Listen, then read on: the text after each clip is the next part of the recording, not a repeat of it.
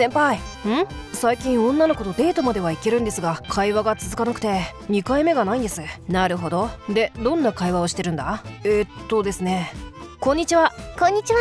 いいワンピースですね。ありがとう。ちょっと待て。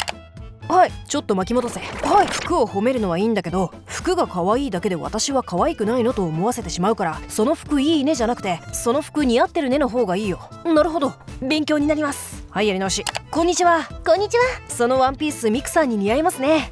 本当に？ありがとう。うん行こっか。な？最近どう？最近？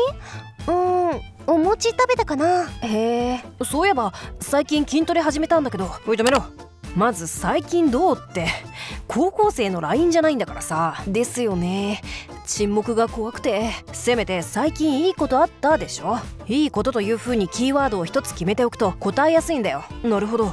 それとなんでお餅食べたって話無視してんだよ？いや何にも浮かばなくて。いいか？まず女性と話す時は自分は司会者になったイメージで話すのがいい。司会者か。自分が喋るというよりは相手に喋らせるイメージだな。基本は質問する。女性に話してもらう。相槌を打ってたまに突っ込む。また質問するのループだよ。お餅の話を広げられないのは司会者が悪い。俺も何々食べたとか何餅食べたとかで広げる努力をするんだ。なるほど。ちなみに相手への質問の量が多い人が次にまた会える可能性が1.5倍高くなるという研究結果も出ている相手に興味を持って質問することから全てが始まるんだ。はいやり直し。はい。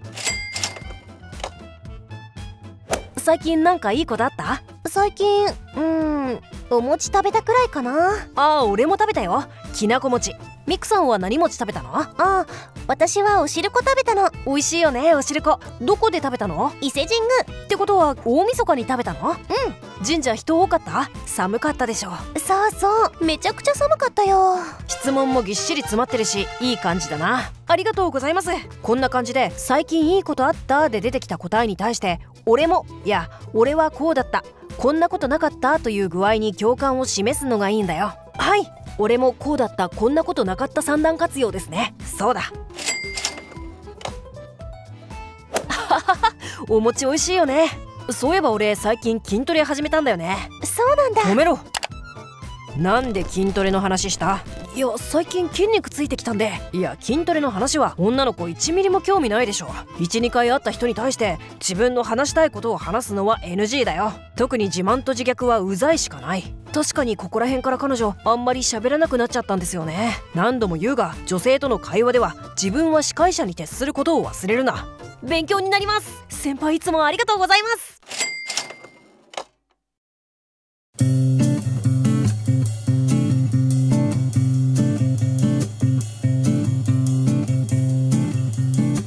の授業は終わり。また来てね。